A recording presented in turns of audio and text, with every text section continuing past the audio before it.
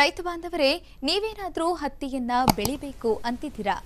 ಅದರ ಬೇಸಾಯ ಕ್ರಮಗಳ ಬಗ್ಗೆ ಸ್ವಲ್ಪ ಹೆಚ್ಚಿನ ಮಾಹಿತಿ ಬೇಕು ಅಂತೇನಾದರೂ ಅಂದ್ಕೊಳ್ತಿದ್ರೆ ಈಗ ತಜ್ಞರು ತಿಳಿಸ್ಕೊಡೋ ಈ ಮಾಹಿತಿಯನ್ನ ಗಮನವಿಟ್ಟು ತಿಳ್ಕೊಂಡ್ಬಿಡಿ. ನಮ್ಮ ರಾಜ್ಯದ ಪ್ರಮುಖ ವಾಣಿಜ್ಯ ಬೆಳೆಗಳಲ್ಲಿ ಹತ್ತಿಯೂ ಕೂಡ ಒಂದು. ಹತ್ತಿ ಬೆಳೆಯು ಲಾಭದಾಯಕವೂ ಹೌದು. ತಜ್ಞರು ಸೂಚಿಸುವ ಸುಧಾರಿತ ಕ್ರಮಗಳನ್ನು ಅನುಸರಿಸುವುದರಿಂದ ನಿರೀಕ್ಷಿತ ಹಾಗೂ ಗುಣಮಟ್ಟದ ಇಳುವರಿಯನ್ನು ಪಡೆಯಬಹುದಾಗಿದೆ. ಸಸಿಗಳ ನಡುವಿನ ಅಂತರ ಎಷ್ಟಿರಬೇಕು? ಒದಗಿಸಬೇಕಾದ ಪೋಷಕಾಂಶಗಳು ಹಾಗೂ ಸಮತೋಲನ ಗೊಬ್ಬರ ಹೇಗಿರಬೇಕು ಮತ್ತು ಕಳೆ ನಿಯಂತ್ರಣ ಮಾಡುವುದು ಹೇಗೆ ಎಂಬ ಬಗ್ಗೆ ತಜ್ಞರು ಹೀಗೆ ವಿವರಿಸಿದ್ದಾರೆ. ಆಯ್ಕೆ ಮಾಡಿದಂಥ ತಳಿಗನುಸಾರವಾಗಿ ಮೂರು ಫೂಟ್ ಅಗಲದ ಸಾಲಿನಲ್ಲಿ ಸಾಲಿನಲ್ಲಿ ಪ್ರತಿ ಗುಡಿಯಿಂದ ಗುಡಿಗೆ ಎರಡು ಫೂಟು, ಎರಡು ಫೂಟ್ ಅಂತರದಲ್ಲಿ ಬೆಳಿಬೇಕಾಗ್ತದೆ. ಹೀಗಾಗಿ ಒಂದು ಎಕರೆಗೆ ಎರಡು ಪಾಕೆಟ್ ಹತ್ತಿ ಬೀಜ ಬೇಕಾಗ್ತದೆ. ಇನ್ನು ಇನ್ನೊಂದು ಮುಖ್ಯವಾದ ಸಮಸ್ಯೆ ರೈತರಲ್ಲಿ ಏನು ಅಂತಂತಂದರೆ, ಈ, ಆ ಟಿ ಹತ್ತಿ ಜೊತೆ ಇಟ್ಟಂತಹ ರೆಫ್ಯೂಜಿಯಾ ಸೀಡ್ಸ್ ಅಂತ ಏನು ಹೇಳ್ತೀವಿ, ಅವುಗಳನ್ನು ಆ ಹತ್ತಿ ಬೆಳೆ ಸುತ್ತಾರದ ಒಂದು ಅಥವಾ ಎರಡು ಸಾಲು ಹಾಕ್ಬೇಕಂತಿರ್ತದೆ. ಅದನ್ನು ರೈತರು ಮಾಡ್ತಾ ಇಲ್ಲ. ಅದಕ್ಕೆ ಆ ರೆಫ್ಯೂಜಿ ಇಟ್ಟಂಥ ಸ, ಬೀಜಗಳನ್ನು ಆ ಬೆಳೆ ಸುತ್ತ ನಾಲ್ಕು, ಎರಡು ಅಥವಾ ನಾಲ್ಕು ಸಾಲುಗಳನ್ನು ಹಾಕೋದ್ರಿಂದ ಈ ಬೀಟಿ ತಾಂತ್ರಿಕತೆಯನ್ನು ಅಥವಾ ಆ ಬಿ ಟಿಗೆ ವಿಷಾಣು ಹೊಂದಿದಂಥ ಕೀಟದ ನಿಯಂತ್ರಣ ಶಕ್ತಿಯನ್ನು ನಾವು ಮುಂದುವರಿಸಲಿಕ್ಕೆ ಆಗ್ತದೆ.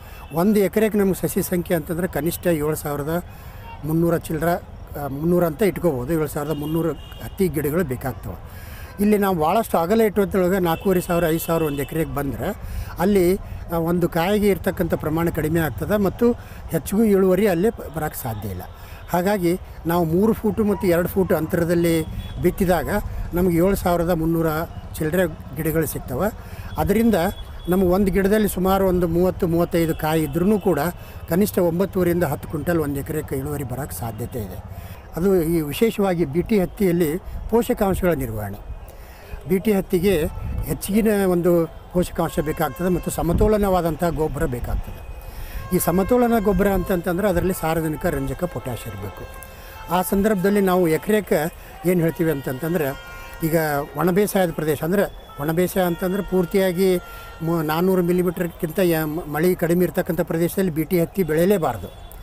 ನಾಲ್ಕುನೂರಿಂದ ಆರುನೂರು ಎಂ ಎಂ ಮಳೆ ಏನು ಬರ್ತದೆ ಅಂಥ ಪ್ರದೇಶದಲ್ಲಿ ನಾವು ಮಳೆ ಆಶ್ರಿತದಲ್ಲಿ ಬೆಳೆ ಅಂತ ಹೇಳಿದ್ನೊಳಗೆ ಎಕರೆಗೆ ನಲವತ್ತು ಕೆ ಜಿ ಸಾರಜನಕ, ಇಪ್ಪತ್ತು ಕೆ ಜಿ ರಂಜಕ ಮತ್ತು ಇಪ್ಪತ್ತು ಕೆ ಜಿ ಪೊಟ್ಯಾಷ್ ಒದಗಿಸುವಂಥ ರಸಗೊಬ್ಬರವನ್ನು ಕೊಡಬೇಕಾಗ್ತದೆ.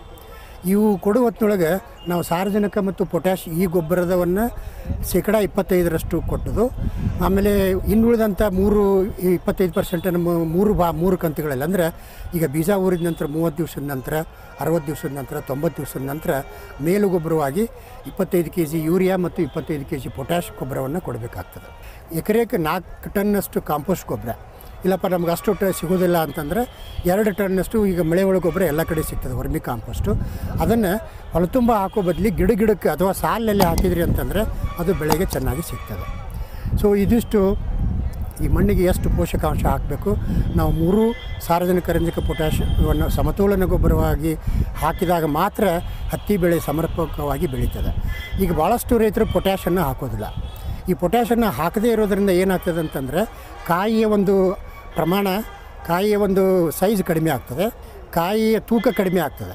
ಕಾಯಿಯ ತೂಕ ಅಂತಂದರೆ ಒಂದು ಗಿಡದಲ್ಲಿ ಹತ್ತಿ ನೀವು ಬಿಡಿಸ್ಕೊಂಡಿರೋದ್ರೊಳಗೆ ಸುಮಾರು ನಾಲ್ಕರಿಂದ ಐದು ಗ್ರಾಮ್ ಬರ್ಬೇಕು ನಾವು. ಅದು ತೂಕ ಬರ್ಬೇಕಂತಂದ್ರೆ ಪೊಟ್ಯಾಶ್ ಹಾಕ್ಬೇಕು ನಾವು.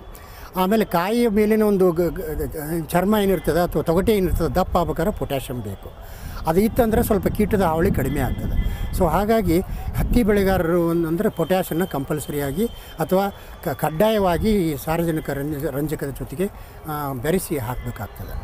ಸೊ ಇದಿಷ್ಟು ನಾವು ಮಣ್ಣಿಗೆ ಕೊಡಬೇಕಾದಂಥ ಅಥವಾ ಹತ್ತಿ ಬೆಳೆಗೆ ಹಾಕಬೇಕಾದಂಥ ರಸಗೊಬ್ಬರಗಳ ಬಗ್ಗೆ.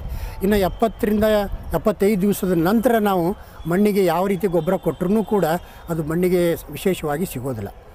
ಹಾಗಾಗಿ ನಾವು ಎಲೆಗಳ ಮುಖಾಂತರ ಮತ್ತು ಕಾಯಿಗಳ ಮುಖಾಂತರ ಅದಕ್ಕೆ ನಾವು ಆಹಾರ ಅವಶ್ಯನೂ ಕೊಡಬೇಕಾಗ್ತದೆ.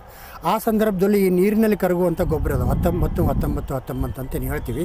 ಅದನ್ನು ಒಂದು ಲೀಟ್ರಿಗೆ ಹತ್ತು ಗ್ರಾಮ್ನಂತೆ ಬೆರೆಸಿ ಅದನ್ನೇನು, ಅದನ್ನೇ ನೇರವಾಗಿ ಹೊಡೆಯುವಂಥ ಅವಶ್ಯಕತೆ ಇಲ್ಲ. ನೀವು ಎತ್ತಿ ಬೆಳೆಗೆ ಯಾವುದಾದ್ರೂ ಸಿಂಪರಣೆಗೆ, ಸಸ್ಯ ಸಂರಕ್ಷಣೆ ಸಿಂಪರಣೆ ಮಾಡ್ತಿರ್ತೀರಲ್ಲ, ಅದ್ರ ಜೊತೆಗೆ ಈ ಗೊಬ್ಬರವನ್ನು ಸೇರಿಸಿ ಸಿಂಪರಣೆ ಮಾಡಿದರೆ ಎಲ್ಲ ಕಾಯಿಗಳಿಗೆ ಮತ್ತು ಎಲೆಗಳಿಗೆ ನಾವು ನೇರವಾಗಿ ಆಹಾರವನ್ನು ಕೊಟ್ಟಂಗೆ ಆಗ್ತದೆ ಸೊ ಇದು ಒಂದು ಮುಖ್ಯವಾದಂಥ ಕ್ರಮ. ಇದನ್ನು ಎಪ್ಪತ್ತೈದು ದಿವಸಕ್ಕೊಮ್ಮೆ ಹದಿನೈದು ದಿವಸದ ಅಂತರದಲ್ಲಿ ಮೂರು ಮೂರು ಮೂರು ಹಂತದಲ್ಲಿ ನಾವು ಕೊಟ್ಕೋತ ಹೋದ್ವಿ ಅಂತಂದರೆ ಬೆಳೆಯಲ್ಲಿ ಸದೃಢತೆ ಹೆಚ್ಚಾಗ್ತದೆ, ಕಾಯಿ ಚೆನ್ನಾಗಿ ಕಟ್ತವೆ. ಮತ್ತು ಆ ಬೆಳೆಯಲ್ಲಿ ಏನಾಗ್ತದೆ ಎಲೆ ಏನು ಕೆಂಪಾಗಿ ಮುಂದೆ ಹೋಗುವಂಥ ಪರಿಸ್ಥಿತಿ ಭಾಳ ದಿವಸದ ನಂತರ ನೂರ ಹತ್ತು ದಿವಸದ ನಂತರ ನಮ್ಗೆ ಕಂಡು ಬರ್ತದೆ. ಇದಿಷ್ಟು ಎಲೆಗಳ ಮುಖಾಂತರ ಪೋಷಕಾಂಶ ಕೊಡುವಂಥದ್ದು. ಆಮೇಲೆ ಇನ್ನೊಂದು ಏನು ಮುಖ್ಯವಾದಂಥ ಅಂತಂದರೆ ಎಂಬತ್ತು ದಿವಸದ ನಂತರ ಚಳಿ, ಅಕ್ಟೋಬರ್ನಲ್ಲಿ ಚಳಿ ಸ್ಟಾರ್ಟ್ ಪ್ರಾರಂಭ ಆದತ್ನೊಳಗೆ ಎಲೆಯಲ್ಲಿ ಕೆಂಪು ಆಗೋಕ್ಕೆ ಪ್ರಾರಂಭ ಆಗ್ತದೆ.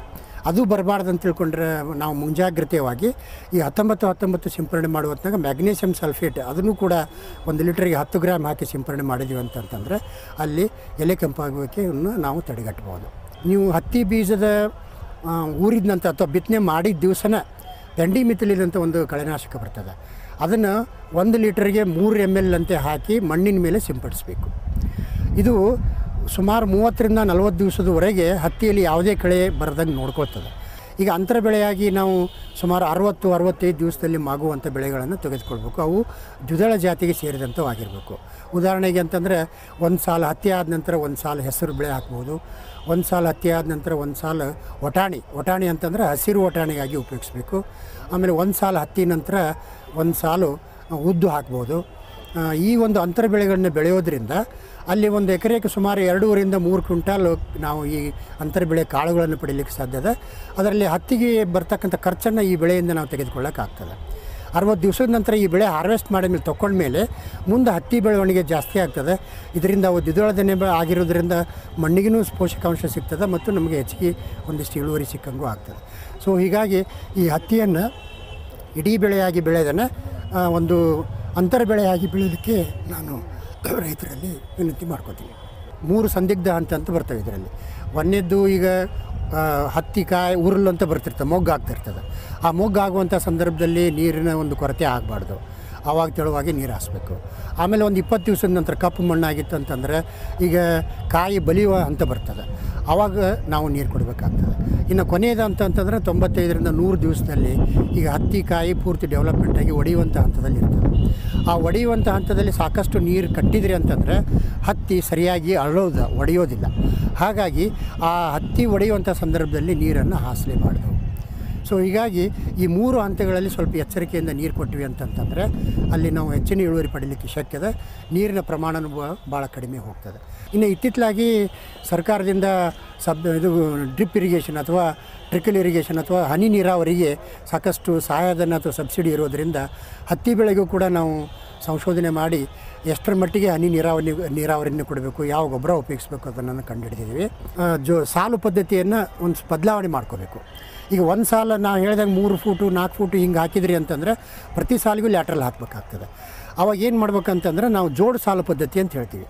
ಈ ಜೋಡು ಸಾಲು ಪದ್ಧತಿ ಅಂತಂದರೆ ಒಂದು ಜೋಡು ಎರಡು ಫೂಟಿಂದ ಒಂದು ಸಾಲು, ಎರಡು ಫೂಟಿಂದ ಒಂದು ಸಾಲು ಒಂದು ಜೋಡು ಮಾಡ್ತೀವಿ. ಆ ಆ ಜೋಡುಗಳ ನಡುವಿನೇ ಇರ್ತ, ಇರ್ತಕ್ಕಂಥ ಅಂತರ ನಾಲ್ಕು ಫೂಟ್ ಇರ್ತದೆ. ಆ ಒಂದು ಜೋಡು ಸಾಲೆ ಇರ್ತೈತೆ, ಆ ಜೋಡು ಸಾಲಿನಲ್ಲಿ ಒಂದು ನಡುವೆ ಲ್ಯಾಟ್ರಲ್ ಹಾಕಿದ್ರಿ ಅಂತಂದರೆ, ಆ ಲ್ಯಾಟ್ರಲಲ್ಲಿ ಬರ್ತಕ್ಕಂಥ ನೀರು ಮತ್ತು ಗೊಬ್ಬರ ಇಡೀ ಆ ಸಾಲಿಗೆ, ಎರಡು ಸಾಲಿಗೆ ಸಿಗ್ತದೆ. ಹೀಗಾಗಿ ನಮಗೆ ಆ ಲ್ಯಾಟ್ರಲ್ದ ಐವತ್ತು ಪರ್ಸೆಂಟ್ ಖರ್ಚು ಉಳಿಸ್ತೀವಿ.